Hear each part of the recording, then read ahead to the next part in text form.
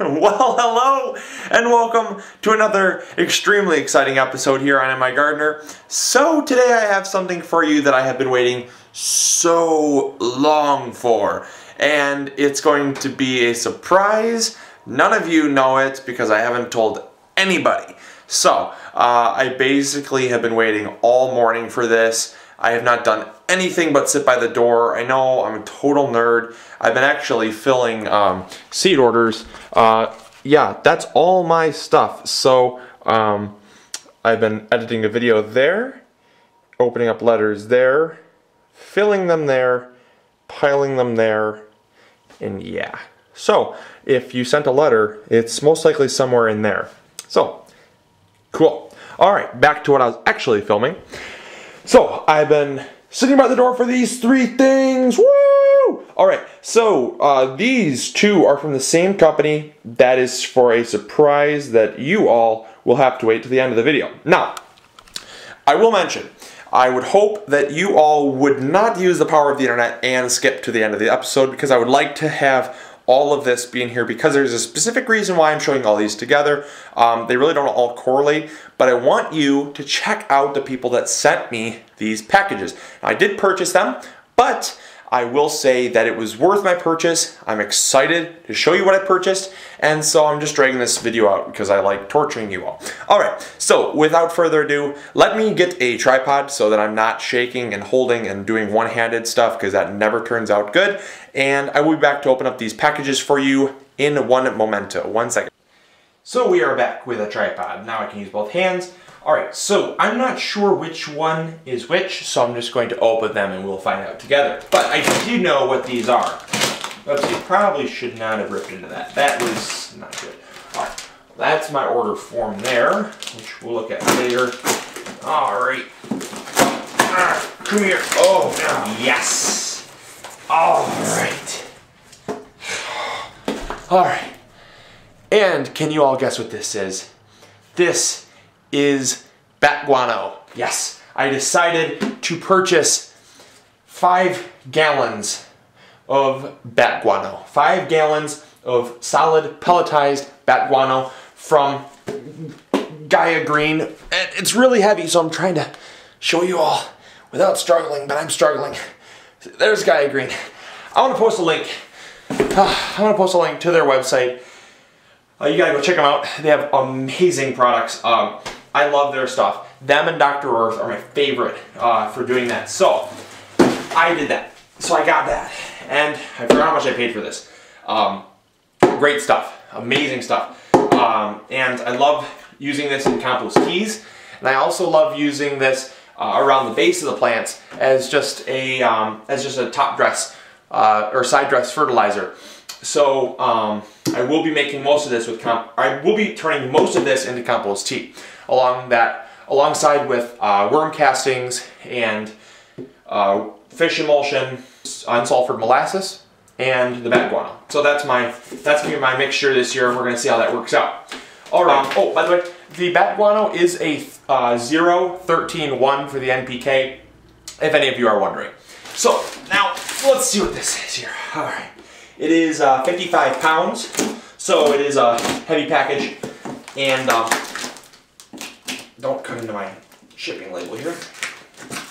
Right. Yeah, I need that. All right. Okay, now we can rip into it. All right, and I know what this is now because I know I knew what the other one was. And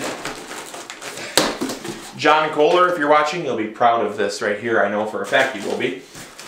Oh, yes. Ah, beautiful. Beautiful. Get out of your paper. Okay. Oh, right. I'm not going to lift this one up because I'll get a hernia.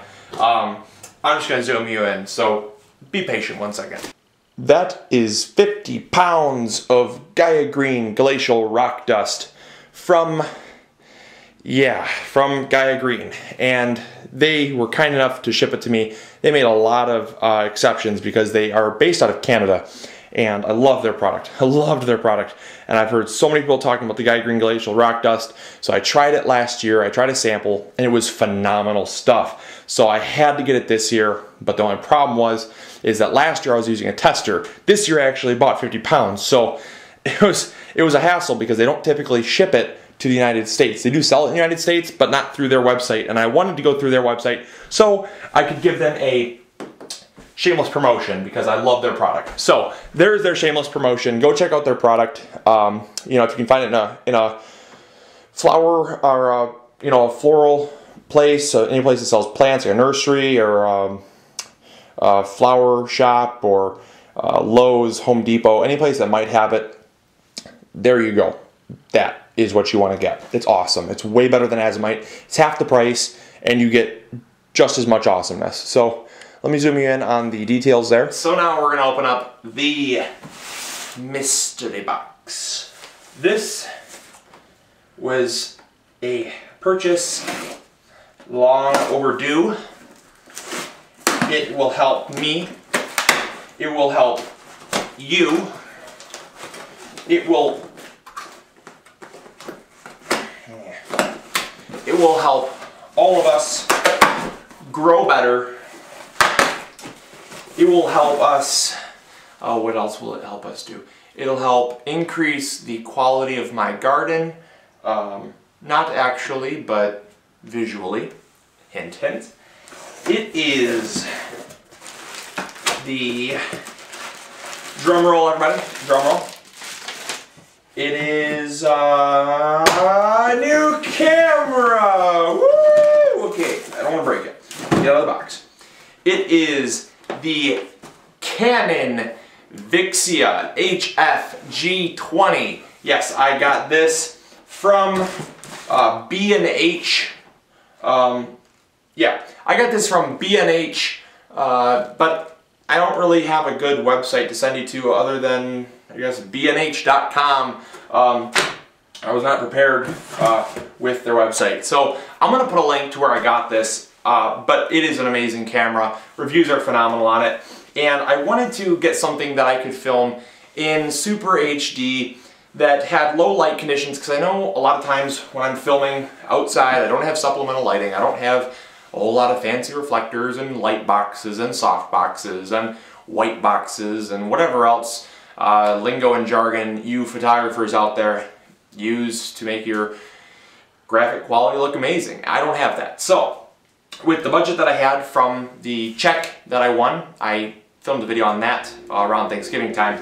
Uh, so with that money, I went out and I purchased a new camera, and so that is what I bought. Um, and it was the best bang for my buck with having cost in mind. It was also, um, it was also really, I, I thought necessary because not only now can I save the camera that you're watching me on, but I can also do multi-camera angles if I need to. I can have one uh, one static camera that, that basically just means it stands still for the whole episode, and then I can use the camera that you're watching me on for up close uh, shots if I need to show you something up close. Instead of having to move my camera back and forth and back and forth and risk it falling over, um, it's just way better uh, to have to have uh, a second camera, I guess. So I thought that was a good plus.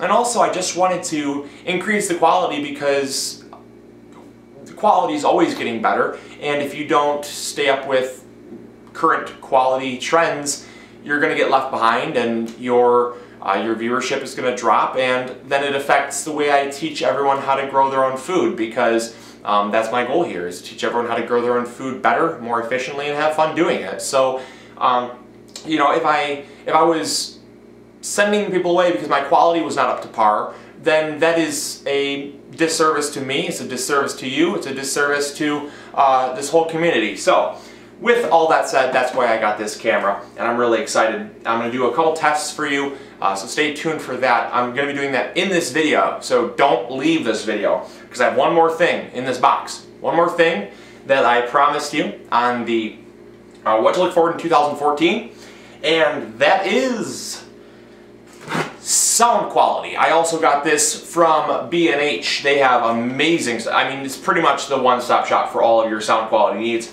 This is the uh, uh, this is the Azden wireless uh, lavalier mic, and I will be attaching this to my shirt collar neck part, um, or like just below it, and that way I can walk.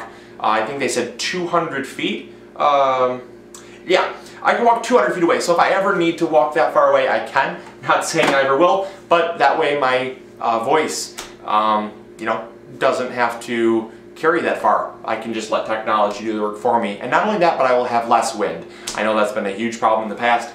It's something that everybody's been talking about is wind, wind, wind, wind, wind.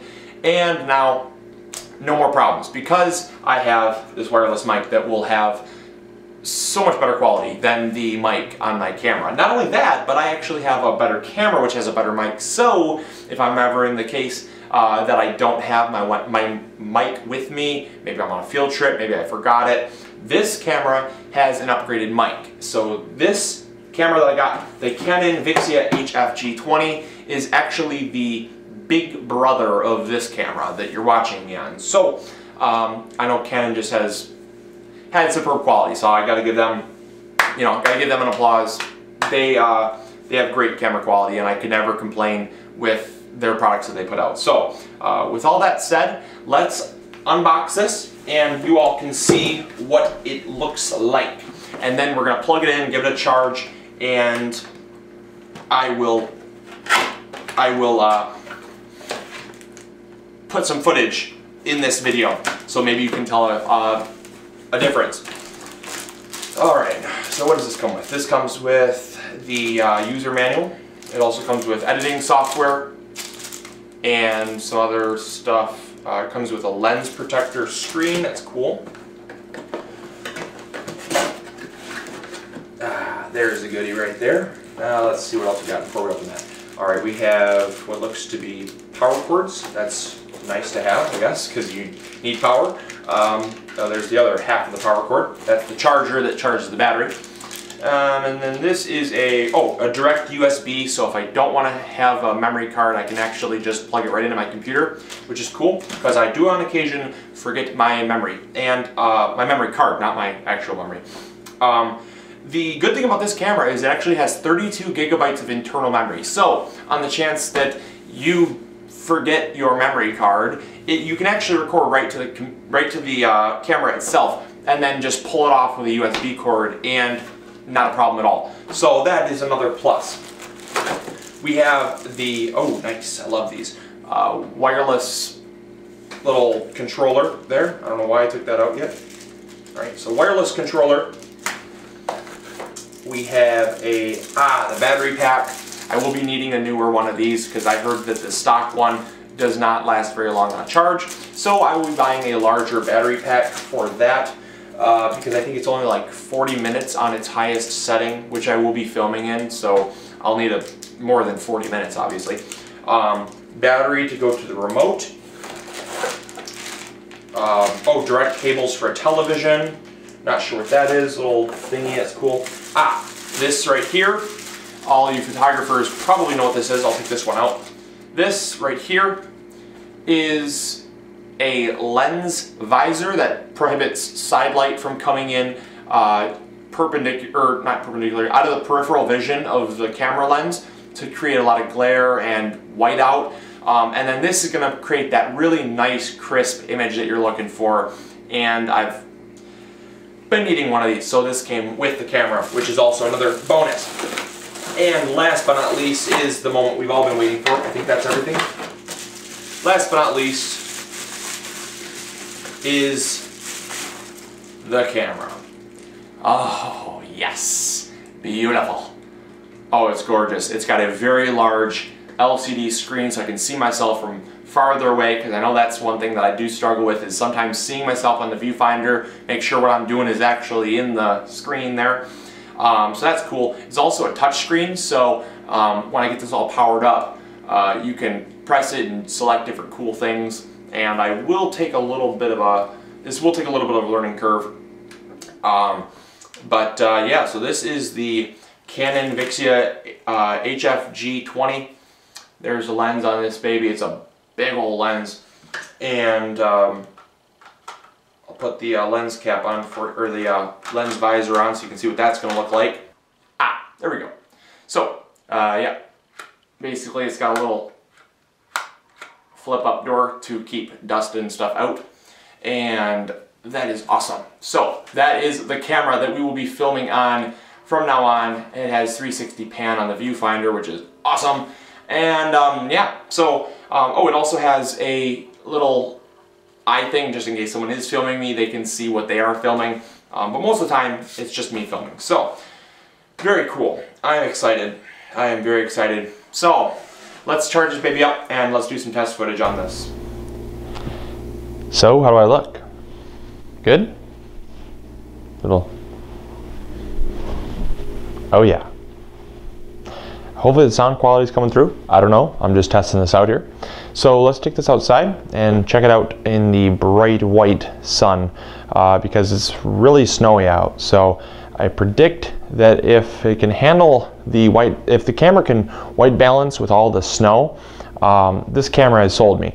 Because one thing that I always battle with a lot is when the sun's out, it takes all the color away, whether it's a tomato, whether it's a leaf, whether it's you know something I'm showing you, the sunlight is just so harsh that uh, my other camera couldn't um, it couldn't white balance and it would just basically mask everything all over and take out all the color. And so hopefully let's see uh, if we can maybe um, conquer that today. So really quick, I wanted to show you the camera that I was using before. I've never actually shown you, I don't think, because um, I've never had the, uh, the technology to do that. I was always working with a poor camera.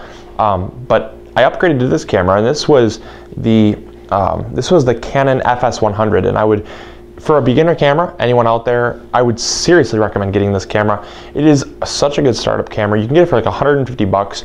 Like I said, I'm gonna keep this camera uh, for um, alternate angles and stuff for doing close-ups because obviously right now you're static and if I was looking at a plant I would want to go like that you know and uh, close up on a plant so that's that um, but yeah and also another perk is the, the battery pack for this the battery pack that comes out super easy. Actually, Canon is so genius with all of their camcorder models that they actually made all of their their batteries compatible. So if if uh, the one you're watching me on runs out, I can actually just be like, oh, well, I don't need to buy a second battery pack. I have a backup right here. So I'll keep this one charged and in this camera so that when I'm not doing alternate angles, the battery can also be used as an emergency battery pack. So that's cool. All right, well, let's go outside and test this baby out. All right, so basically this is gonna be the brightest that it's ever gonna be. I mean, I'm standing in snow. We did have a little bit of meltage because we had some freezing rain and some 42 degree weather. So not as much snow as we did have, but it's still winter. So it there is white and the white has always been just terrible because it reflects every ounce of light right back up at you and the thing you're filming. So let's take a walk back and let's see how far this microphone really goes. All right, it says it records up to 200 feet. So I'm probably at about 50 feet right now. And uh, I'm just gonna keep walking back. Oh, wow, my kale is actually still growing. Unbelievable. My kale is actually just frozen. But I'm probably gonna have to put something over this to see if maybe I can overwinter it because I'd like it to come back. It's still green and healthy. All right, coming back. Well, that was a fun test of the microphone and camera quality. I'm gonna go inside and warm up. So hopefully y'all enjoyed this episode. And as always, this is MIgardener reminding you to grow big or go home. I'll talk to you all later. See you next episode. Bye.